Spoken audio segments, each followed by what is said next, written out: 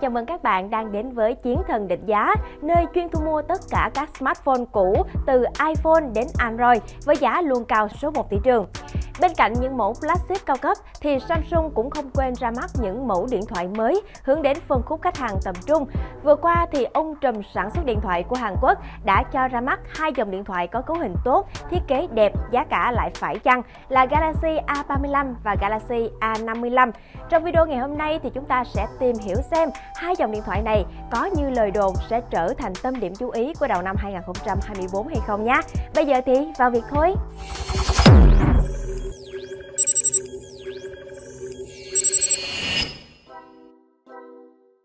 Trước khi đi vào nội dung chính thì mình xin thông tin một xíu.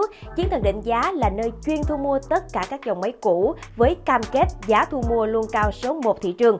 Nơi nào cao hơn, chiến thần định giá sẽ thu cao hơn nơi đó 300k nữa. Cho nên là nếu các bạn muốn bán máy cũ để lên đời thì phải chạy sang chiến thần định giá liền nha. Đang sẵn có các dòng iPhone 12 Pro Max, 14 Pro Max Line New đẹp keng với mức giá tốt nhất thị trường. Ngoài ra thì iPhone tại Vietablet tất cả đều là máy nguyên zin, bảo hành lên tới 1 năm thay thay pin miễn phí trọn đời, bao hoàn tiền 100% với mọi lý do. Cho nên là các bạn có thể hoàn toàn yên tâm mua thử để trải nghiệm. Nếu các bạn quan tâm thì bấm vào đường link mình để ở dưới phần mô tả và phần bình luận nhé. Quay trở lại với nội dung chính, theo nhiều thông tin, Galaxy A55 và Galaxy A35 sẽ chính thức được mở bán tại Việt Nam từ ngày 22 tháng 3 năm 2024 với mức giá bán lẻ đề nghị như sau. Samsung Galaxy A35 5G phiên bản 8GB 128GB có giá là 8 triệu 290 000 đồng. Samsung Galaxy A35 5G phiên bản 8GB 256GB là 9 triệu 290 000 đồng. Samsung Galaxy A55 5G phiên bản 8GB 128GB là 9 triệu 990 000 đồng. Samsung Galaxy A55 5G phiên bản 8GB 256GB là 10 triệu 990 000 đồng.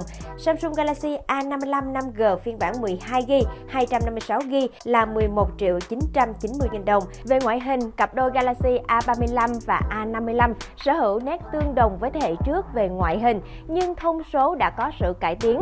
Cả Galaxy A35 5G và Galaxy A55 5G đều sở hữu tấm màn AMOLED kích thước 6,6 inch, độ phân giải Full HD và tần số quét là 120 Hz. Con số này cao hơn mức 6,4 inch trên phiên bản Galaxy A54 5G đã ra mắt trong năm 2023.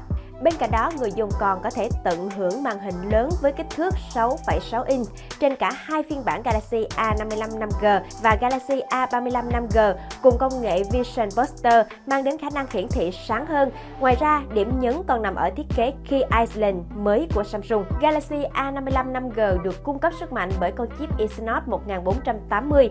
Máy có các phiên bản RAM 8GB hoặc 12GB, bộ nhớ trong 128GB hoặc 256GB. Bên cạnh đó thì Galaxy A35 5G sử dụng chip Exynos 1380 cũ hơn, đã có mặt trên Galaxy A54 trước đó. Mặc dù đã ra mắt trước đó, nhưng Exynos 1380 vẫn vận hành hiệu quả với mức tiêu thụ điện năng vừa phải. Galaxy A35 5G có các tùy chọn RAM 6GB hoặc 8GB và bộ nhớ trong là 128GB và 256GB. Về camera thì Galaxy A55 5G sở hữu camera chính 50 megapixel cùng khả năng chống rung quang học OIS, camera siêu rộng có độ phân giải là 12 megapixel và camera macro là 5 megapixel. Ở mặt trước thì hãng cũng trang bị camera 32 megapixel với khẩu độ f2.2. Cả hai sẽ cùng có viên pin 5000 mAh hỗ trợ sạc 25W. Với con số thực tế này thì người dùng có thể thoải mái chơi game, xem phim, nghe nhạc, giải trí nhẹ nhàng sau những giờ làm việc căng thẳng. Trong khi đó, Galaxy A35 5G lại có phần camera kém cao cấp hơn với cảm biến siêu rộng chỉ 8 megapixel và camera selfie 12 megapixel. Còn lại camera chính vẫn là 50 megapixel cùng OIS và camera macro 5 megapixel. Theo Samsung, Galaxy A55 5G được cải tiến tính năng chụp đêm để mang đến những bức ảnh rõ nét và sống động trong điều kiện thiếu sáng. Với bộ xử lý hình ảnh bằng AI tích hợp trong chế độ chân dung đêm và công nghệ Super HDR đến 68 triệu màu, mọi vật thể trong khung hình đều được ghi lại sống động. Năm nay, Samsung lần đầu tiên mang đến cho người dùng Galaxy A55 và Galaxy A35 một trong những tính năng bảo mật cải tiến nhất của hãng, đó chính là Samsung Note Vault. Đây là một giải pháp bảo mật dựa trên phần cứng, cung cấp khả năng bảo vệ toàn diện chống lại các cuộc tấn công phần cứng và phần mềm bằng cách tạo ra một môi trường thực thi an toàn, cách ly khỏi bộ xử lý chính và bộ nhớ của hệ thống. Tính năng này bảo vệ các dữ liệu quan trọng nhất trên thiết bị, bao gồm thông tin xác thực màn hình khóa như mã pin, mật khẩu và mẫu hình. Tính năng này cũng bảo vệ thông tin khóa giải mã và mã hóa dữ liệu riêng tư của người dùng được lưu trữ trên thiết bị. Chỉ người dùng có thông tin xác thực màn hình khóa chính xác mới có thể truy cập dữ liệu của họ, ngay cả khi thiết bị bị mất hoặc bị đánh cắp. Ngoài ra, Samsung còn cam kết 4 năm cập nhật hệ điều hành chính và 5 năm phá bảo mật cho cả hai thiết bị Galaxy A này. Mặc dù thời gian hỗ trợ ngắn hơn các flagship, điều này vẫn rất ấn tượng với các mẫu điện thoại tầm trung.